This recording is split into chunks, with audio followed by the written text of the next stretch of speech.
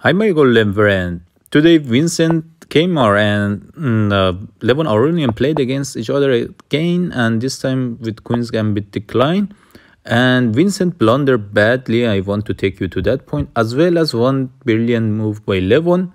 And an interesting part about this game was a post-game interview where interviewer asked Levon if uh, you are a romantic man or not and really like your games and Levon said yes I am quite romantic because I am crying when I watch movies.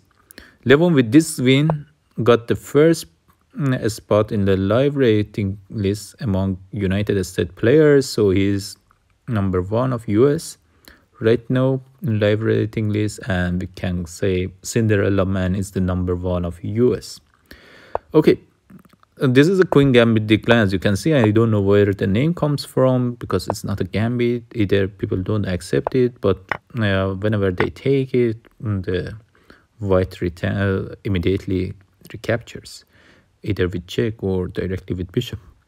Anyways and uh, for example if you compare it with catalan in catalan you also give up the c pawn but you don't recapture it easily as like in this case in queen's gambit Anyways, let's go forward. The game is quite wild and the youngest sir is looking for revenge after losing last time in uh, uh last time Levon torched uh, Vincent because uh, Vincent was in Zugzwang for a very very long time in the game and it was very bad torch for youngster. So he is playing quite angry today against Levon. And uh, you can see White didn't castle, it doesn't care at all to castle, and just attacks, wants to destroy Levon. And here is a brilliant move of Levon, playing g5. And the point is that, uh, okay, uh, Vincent just simply played b4 the point is that you cannot capture this pawn or you can capture but then goes back and then you should uh, defend your bishop again. Because if you don't move uh, your bishop is pinned so next move um, b5 is winning a bishop. So if for example you move the king away then you lose a uh, your forked your knight is forked so.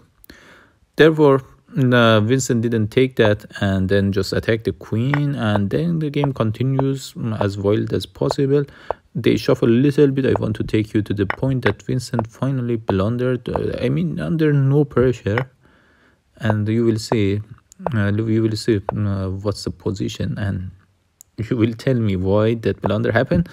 Okay, here Vincent strengthens the defense of his pawn structure, and his very healthy pawn structure is very good uh, engine says is uh, black is standing a little bit better it is because the king of white is exposed but other than that white is doing perfectly fine. There is nothing bad in this position. So Levon simply attacks the e pawn and i don't know what else he wants to do. And vincent simply gives up the e pawn piece of pawn change. This is a big big blunder. I mean simply takes the pawn and then next one the whole things fall apart like a domino. And yeah and now youngster has nothing to play against. Levon just plays out of a spite little bit and then at this position finally he resigns because there's nothing to play here. Uh, white uh, black is not just up a whole piece but also white's king is exposed black has a pass pawn and everything is for black. Yeah this was a game that took levon to the next stage of the grand prix tournament and um, we will see what happens in future as well as took him in the first place of live rating list at united states. I hope you enjoyed.